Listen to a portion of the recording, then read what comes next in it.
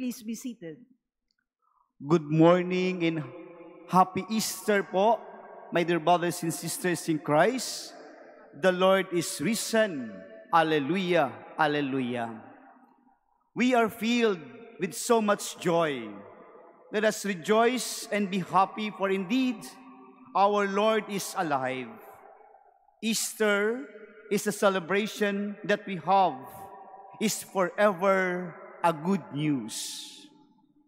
Again, my brothers and sisters, the Easter that we have right now is forever a good news.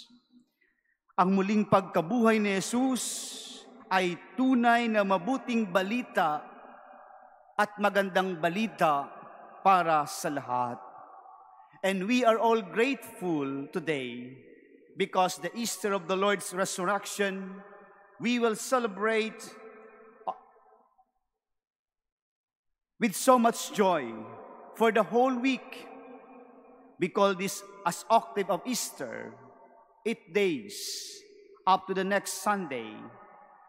And we are now enjoying the Easter season as Jesus risen from the dead.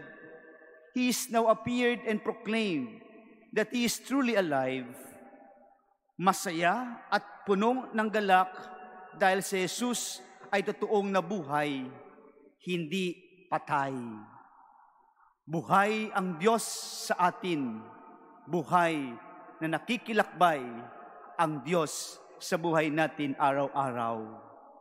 Mother, brothers, and sisters, our gospel today from the account of Matthew, the women, Mary Magdalene and the other Mary, went away quickly from the tomb, fearful and yet overjoyed, ran to announce the news.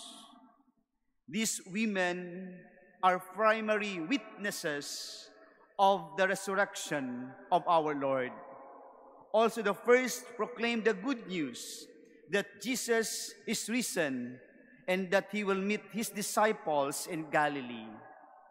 As we go over the gospel of today, there was a contrast of these women who were overjoyed to announce that Jesus is alive.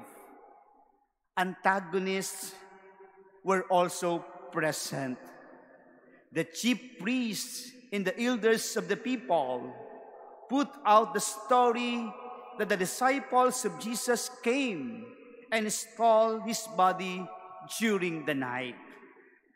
The action of paying off the soldiers who guarded the tomb in order to them to propagate the lie, my dear brothers and sisters, ang muling pagkabuhay ni Jesus ay hindi mababayaran at hindi mapipigilan at hindi ito mahadlangan ng kasinungalingan. And now, we are all rejoicing because the good news with, uh, is with us. Let us proclaim the truth like the women not a Ang muling pagkabuhay ni Jesus, my dear brothers and sisters, we are all invited to proclaim the truth, not a lie. Hindi po tayo ginawa ng Diyos para magsinungaling at maging sinungaling. Ang muling pagkabuhay ni Jesus ay dapat nating ipahayag ng isang katotohanan na tayo ay kanyang binigyan ng kaligtasan at buhay para magpatuloy sa binigay niyang buhay pang araw-araw.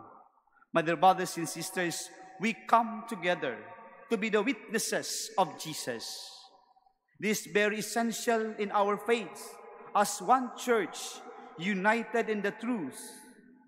The resurrection of Jesus is truly the statement of truth as we experience the gift of the season, let us now draw from His risen strength and full of hopes at the very step of our life's journey.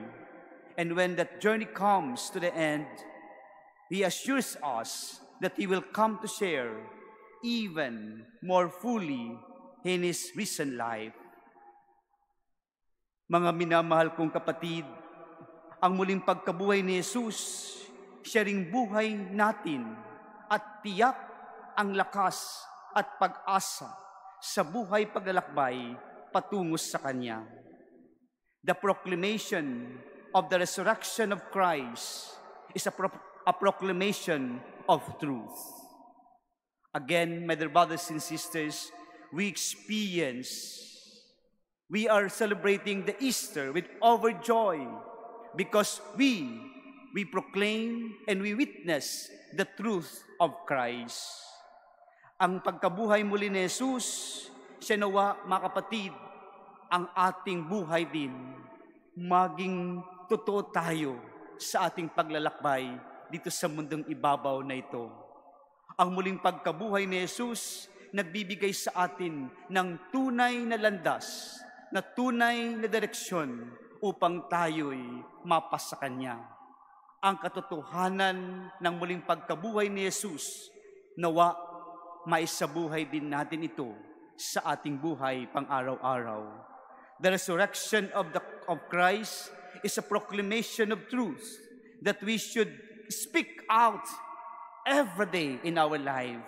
And we embrace every day in our lives. And we must allow this truth because the resurrection of Christ is a, mes- is a message of full truth of our salvation. My dear brothers and sisters, in this octave of Easter, today is Monday. Let us spread out to the whole world. Tell the truth now. Tell the truth now. He is risen. He is real. Me is the resurrection of Christ always in our actions, bringing the truth. As we continue to live our lives for being Easter people, Mother, brothers and sisters, let us all therefore uphold and be committed of Christ's truth in his resurrection. Amen.